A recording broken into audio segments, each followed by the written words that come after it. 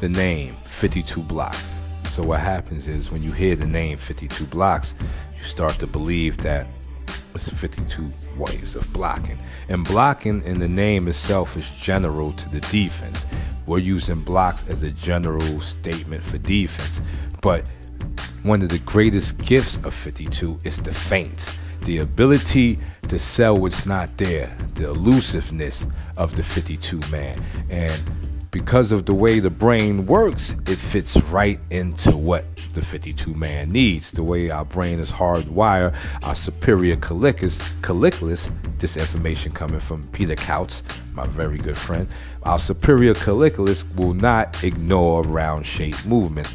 So this movement right here, after a while, becomes regular. You start to forget it.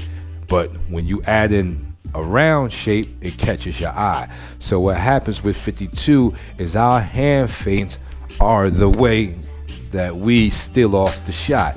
And that there is the elusiveness of the feints of how we attack. So when most attackers or most offensive arts kind of show you their offense, 52 will not show the offense. The wave motions bring about offense from different directions that make it hard to tell. They come from outside your peripheral, and it makes it hard to tell where the actual shot is coming from. So when you hear the name 52 blocks, do not get stuck on the blocks because there's more happening than just the blocks.